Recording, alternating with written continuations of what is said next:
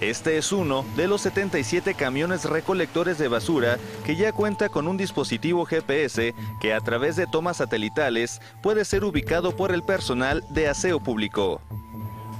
Entonces con esto nos va a permitir primero saber si, se hizo la ruta, si se hizo adecuadamente, cómo pasaron por las distintas calles los vehículos, y te va generando reporte por, por reporte. Cada punto te va mandando información de cómo va el camión o cómo está haciendo su ruta, ¿sí? el recorrido que lleva este, este camión. Este tipo de monitoreo ayudará a mantener un control de cada una de las rutas en León. Además cuentan estas unidades con botones de alerta que sirven para que el operador dé aviso si encuentra en la vialidad un animal muerto o algún objeto voluminoso como sillones, colchones o llantas.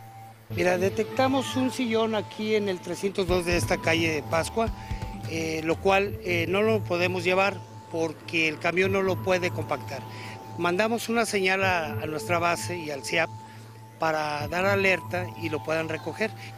Con la implementación de estos botones de aviso, personal de aseo público recibe al día de 40 a 50 reportes, la mayoría para recoger objetos voluminosos. Y el otro botón es para animales muertos.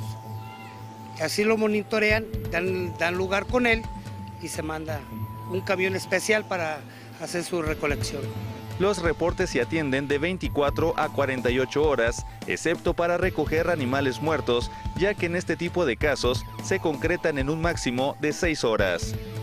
Eduardo Hurtado, camarógrafo. Marcos Olivos, Noticieros Televisa.